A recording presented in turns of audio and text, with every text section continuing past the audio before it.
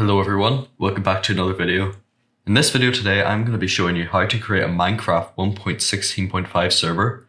However, this will work for any Minecraft version. So the first thing you want to do is open a web browser of your choice. So in my case, I'm going to be using Google Chrome. And you just want to go to minecraft.net forward slash download.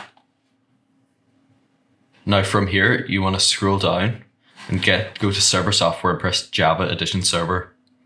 Now this link here is going to be in the description if you want, but now all you have to do is download minecraft underscore server dot 1.16.5 dot jar.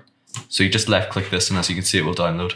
So I'm going to cut when this is finished. So as you can see it's finished. Now you just need to press keep and then you want to drag this to your desktop. So I'm just going to left click this, drag to the bottom right hand corner to show my desktop and just drag it right here. So from here, we want to make a new folder. So I'm just going to right click, go under new and press folder. And now this folder can be called anything you want, but this is going to store all your server files. So in this case, I'm just going to call it server tutorial. And just now I must just drag the server.jar into this folder. As you can see, if I open this folder, I need to make a text document. So I just right click, go to new, text document, and you want to call this start.txt. So just hit enter and you can now open this. So from here, we need to go back to your web browser and copy and paste this string of text. So you can just press Control C to copy it and Control V to paste. So as you can see, this basically just says to use Java. It says that it's going to start using this amount of RAM and the maximum amount of RAM it can use is this. So this is one gigabyte and one gigabyte. Then it says to read this jar file. However, if you look in your folder, this jar file does not exist. So we're going to have to rename this to server.jar because we want it to target that. So as you can see, if I hover over that and replace it with server. So if I wanted to make my server have more RAM, I would just have to change this to a higher digit. So I'm going to change this to two gigabytes.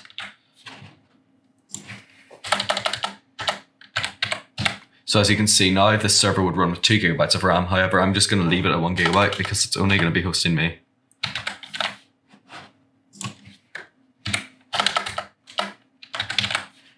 From here, we just need to press File, Save As. Now we need to press where it says Save As Type and change this to all files, and then change to start.bat.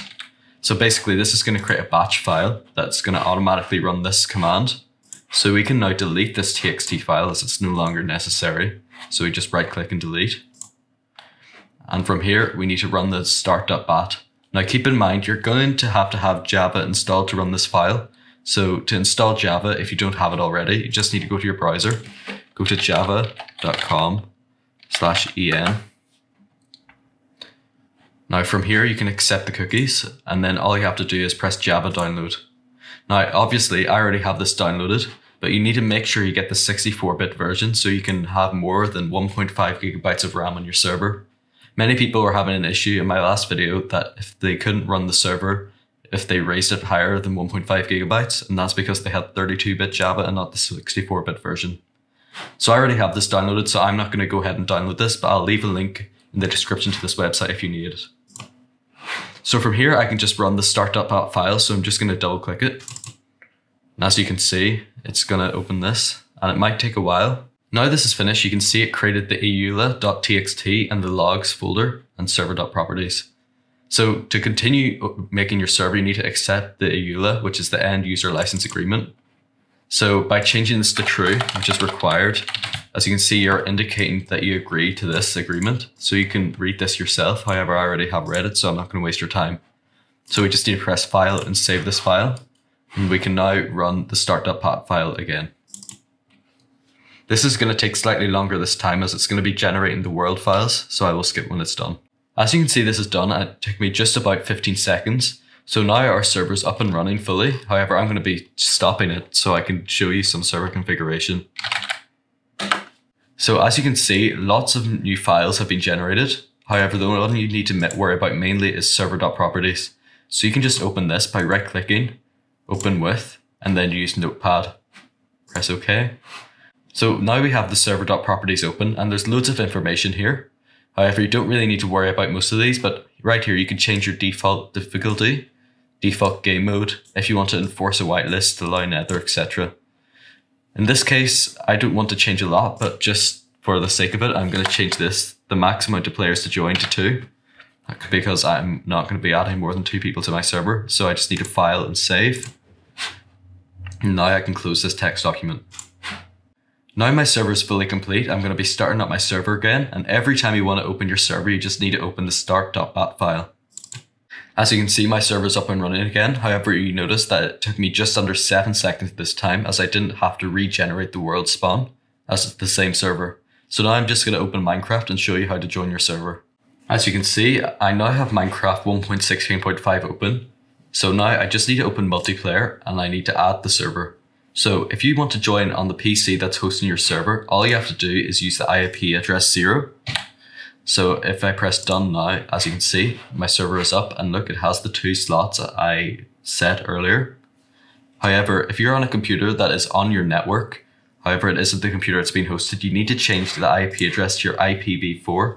So you can find this by going into command prompt and typing in ipconfig and it will give you your IPv4 address. I'm not going to be doing that now because you can just do it yourself.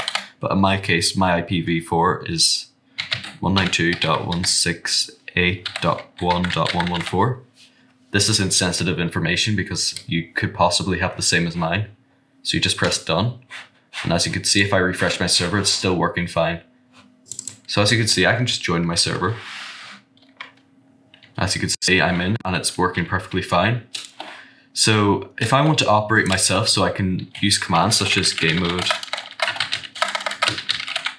creative, it won't let me. So that's because I'm not an operator. So to change yourself and make yourself an operator, all you have to do is type in op and your username. So I'm on the account Goreg, so I just hit enter.